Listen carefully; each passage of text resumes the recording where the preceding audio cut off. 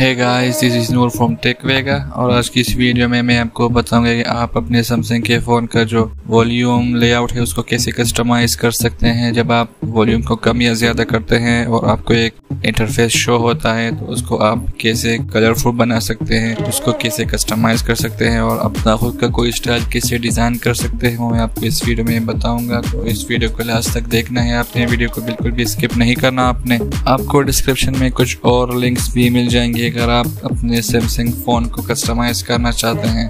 तो आपको कुछ और वीडियोस के लिंक्स भी मिल जाएँगे डिस्क्रिप्शन में, उससे आप अपने फ़ोन को कस्टमाइज कर सकते हैं।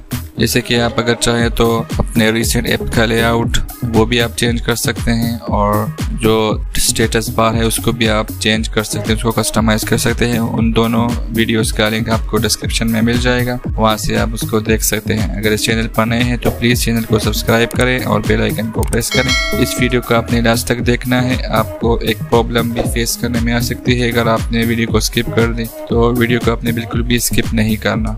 सो चलिए शुरू करते हैं। तो अब आप देख सकते हैं कि मेरा जो लेआउट है वॉल्यूम्स का वो बिल्कुल सिंपल है। उसमें कोई चेंज नहीं किया हुआ है अभी तक। नाइस लॉक ये एक मॉड्यूल है। एक्चुअली ये एक कॉपी वर्जन है गुड लॉक का। लेकिन गुड लॉक हमें कुछ कंट्रीज़ में नहीं मिलता तो इसको आपने प्ले स्टोर से अगर आप चाहें तो डाउनलोड कर सकते हैं, नाइस लॉक तो अब मैं आपको एक ऐप दिखाता हूँ साउंड असिस्टेंट प्ले स्टोर में आपको लेके चलता हूँ। प्ले स्टोर में अगर आप सर्च करते हैं साउंड असिस्टेंट तो ये आपको यहाँ पर नहीं मिलता है। आप देख सकते हैं कि आपको बहुत से और मिल जाएँगे, लेकिन आपको जो साउंड असिस्टेंट है वो नहीं मिलता है तो इसको कैसे डाउनलोड करते हैं? तो मेरे पास नाइस लॉक का एक डाउनलोडर कंपेनियन है, इससे मैं उसको डायरेक्टली डाउनलोड कर देता हूँ। देख सकते हैं कि मेरे पास ये आ गया है साउंड असिस्टेंट 4.2 लेकिन आप लोगों के पास ये नई स्लो का डाउनलोडर कंपनी नहीं होगा तो इसके लिए आपको ना कोई भी ब्रोसर हो, वहाँ पर आपने सर्च करना है साउंड असिस्टेंट एपी के मिरर ये आपने सर्च करना है और फ़र्स्ट लिंक यहाँ पर आप देख सकते हैं साउंड असिस्टेंट एपी के इस पर आपने क्लिक कर लेना है और आपने नीचे आ जाना है। यहाँ पर आप देख सकते हैं कि ऑल वर्जन यहाँ पर है साउंड रेजिस्टेंट 4.3 जुलाई 4 2022 आपने हमेशा सबसे फ़र्स्ट जो ऐप है, वही आपने डाउनलोड करनी है, वो सबसे लेटेस्ट वर्जन होगा। तो आपने वही डाउनलोड करनी है, आपने फिर से नीचे जाना है।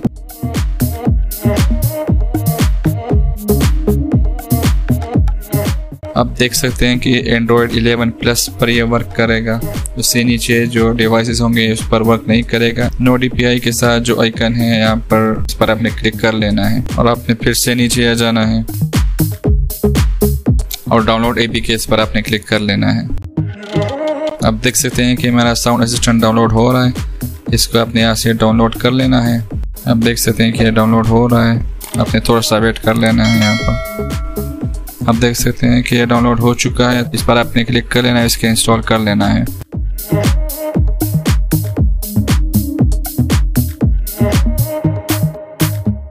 इसको आपने ओपन कर लेना है यहाँ से। आप देख सकते हैं कस्टमाइज वॉल्यूम पैनल इस पर आपने क्लिक कर लेना है। इसको आपने ऑन कर लेना है। अब आप देख सकते हैं कि हमारा जो वॉल्यूम का पैनल है, वो थोड़ा सा चेंज हो चुका है। आपको यहाँ कुछ और ऑप्शंस भी मिल जाएँगे। आप देख सकते हैं कि move layout right show volume level floating button sync position ये आप देख सकते हैं कि आप इसको ऑन ऑफ़ भी कर सकते हैं यहाँ पर। अब आप एक्सपेंडेड पैनल पर आप आएँगे तो आप आप इसको भी यहाँ पर कस्टमाइज कर सकते हैं। ब्लूटूथ यहाँ पर है शो टूल बार फ़ंक्शन इसको भी आप ऑन ऑफ़ कर सकते हैं। लेकिन आपको अगर और कलर्स में चाहिए तो यहाँ पर आपने make your own volume panel colours इस पर आपने क्लिक कर लेना है। यहाँ पर आपको बहुत से कलर्स मिल जाएँगे, बहुत से कस्टमाइज्ड थीम्स मिल जाएँगे यहाँ पर। जो भी थीम आपको पसंद आए उस पर आप यहाँ पर क्लिक कर लेना है। लेकिन आप इस पर क्लिक करते हैं तो आपको ये एरर शो होगा this content is not available in your country तो इसको आपने ओके कर लेना है और इसको यहाँ से हटा देना है। और आपने फिर से अपने ब्राउज़र में चले जाना है, यहाँ पर आपने सर्च करना है थीम पार्क एपी के मिरर ये आपने सर्च कर लेना है। और फ़र्स्ट लिंक पर आपने क्लिक कर लेना है फिर से। और आपने फिर से नीचे आ जाना है। और यहाँ पर आपने फिर से फ़र्स्ट वाले ऐप को ही डाउनलोड करना है, वो लेटेस्ट वर्जन होगा यहाँ पर। तो उस पर आपने क्लिक कर लेना है। और आपने फिर से नीचे आ जाना है।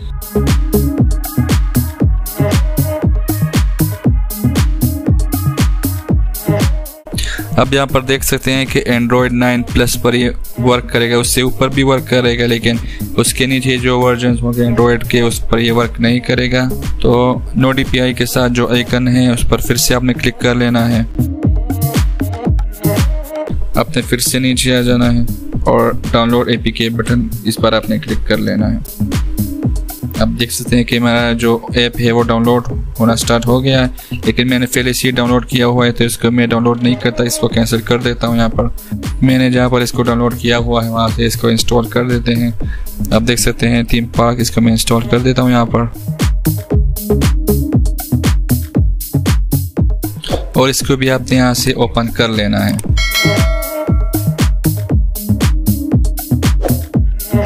तो यहाँ पर आपने स्टार्ट जो लिखा हुआ है, इस पर आपने क्लिक कर लेना है और सारे इन्फॉर्मेशन आपने अलाउ कर देने हैं। और इसको भी आप यहाँ से हटा देना है और वापस से अपने मेक योर ऑन पैनल पर आपने आ जाना है। आपको कोई भी थीम जो आपको पसंद हो, उस पर आपने क्लिक कर लेना है। तो आप देख सकते हैं कि हमारी जो थीम है, वो इंस्टॉल हो रही है।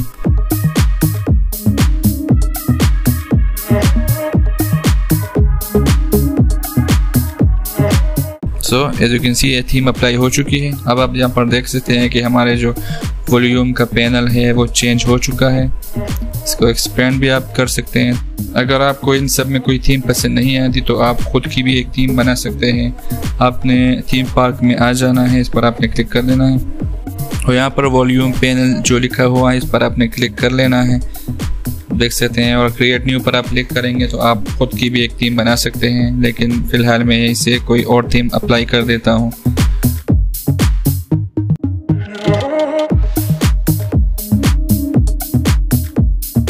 इसको अगर आप हटाना चाहते हैं तो उस पर आपने फिर दोबारा क्लिक कर लेना है जो थीम आपने अप्लाई की हुई है। अगर आप इस पर दोबारा क्लिक करते हैं तो आपकी जो थीम है वो यहाँ से हट जाएगी।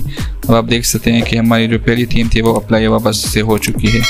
सो so, इस चैनल पर नए हैं तो प्लीज़ चैनल को सब्सक्राइब करें और बेल आइकन को प्रेस करें।